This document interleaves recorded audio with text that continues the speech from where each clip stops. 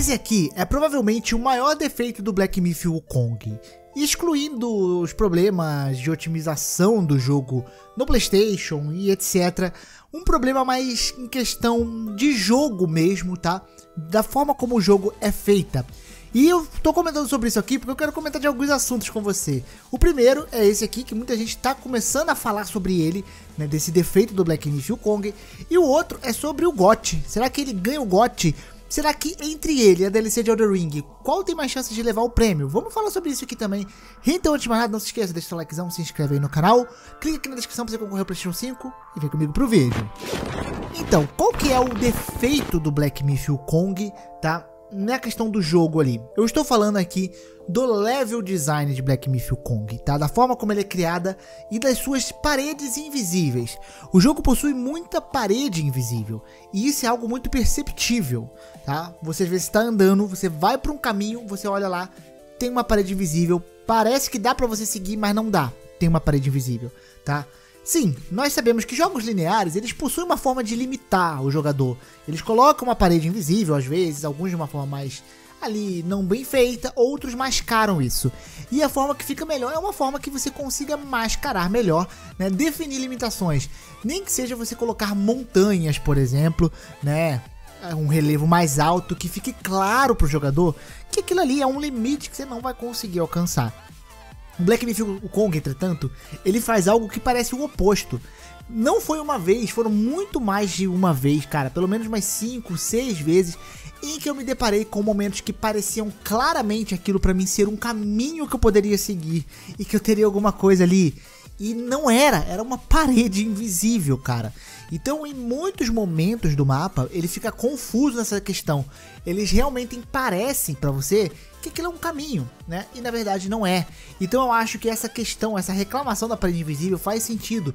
Porque ela não é uma parede invisível que você precisa caçar ou você precisa forçar muita barra para você encontrar ela. E você vê, não, ela é algo que o jogo acaba te levando até esse erro, ele acaba evidenciando mais esse erro da parede invisível. E foram várias vezes que isso aconteceu comigo, que eu falava, nossa, isso aqui é um caminho para eu acessar, isso aqui é uma área que eu vou ter alguma coisa secreta que eu vou conseguir acessar aqui. E não, tinha uma parede invisível, né? Só que somando com essa parede visível, né, do questão do ponto fraco do Black Myth Kong, nós temos um outro problema que eu acho que é o level design dele. E o que, que acontece aqui? O level design do Black Myth Kong, ele é muito idêntico e tem poucos pontos marcantes, pontos de interesse, pontos assim que você vai conseguir marcar na sua cabeça naquele mapa. Eu vou tentar dar uns exemplos melhores. Mas basicamente, os mapas de Black Myth Kong, eles parecem que foram mapas procedurais gerados, tipo, gera uma floresta, gera uma montanha para mim.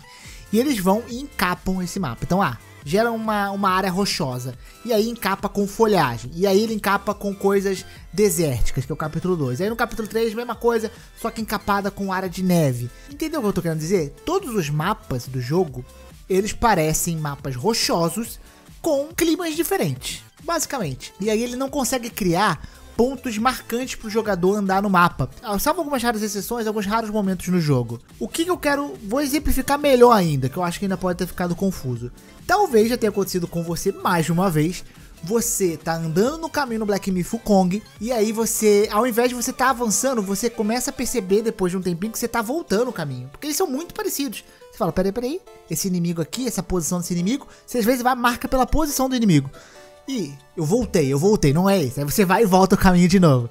Muitas vezes você, às vezes. O mapa tem alguns momentos que você ou não desbloqueia um, às vezes desbloqueia um atalho ou às vezes simplesmente um caminho dá naquele caminho do começo de novo e você demora a perceber que você voltou para aquele lugar que você tava.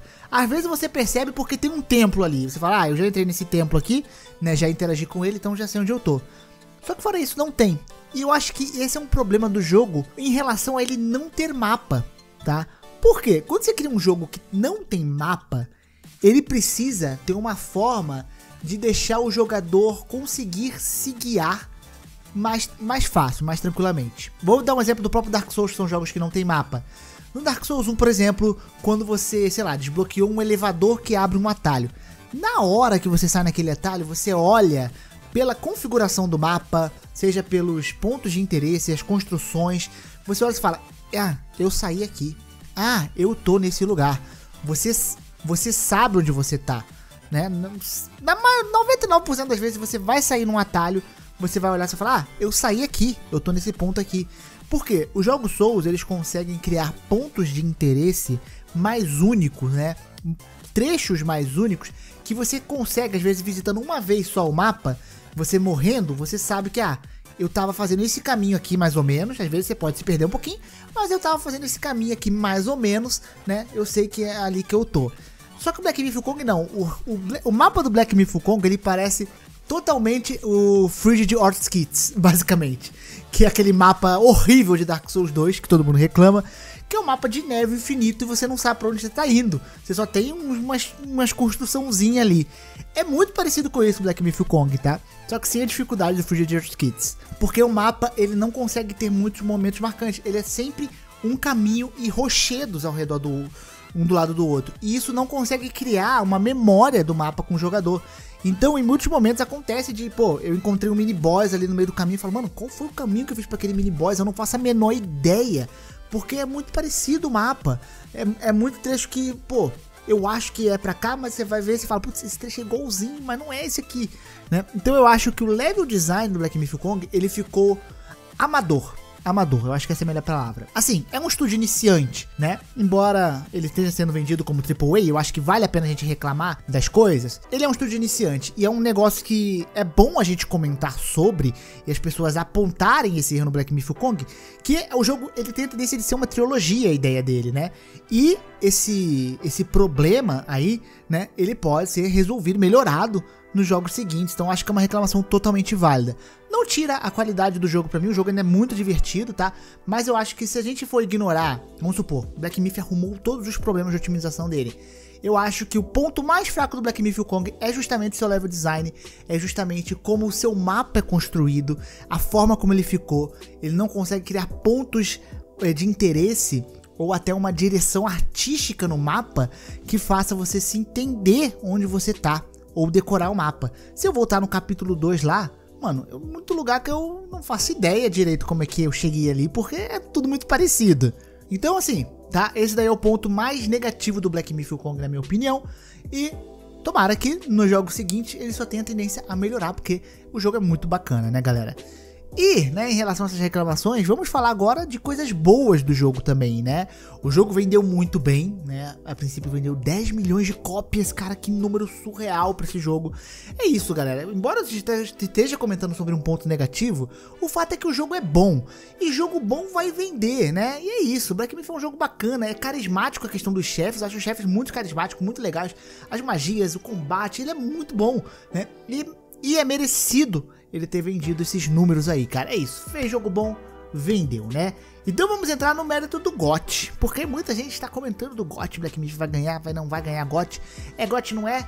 Então, então, vamos lá. O Black Myth é um jogo muito bom, ele tem pontos negativos, como eu mencionei aqui, tem muitos pontos positivos também, né, que dá pra gente listar.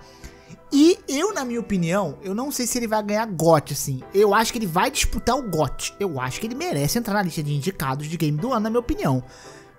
Assim, o GOT, ele leva muito em consideração também popularidade do jogo.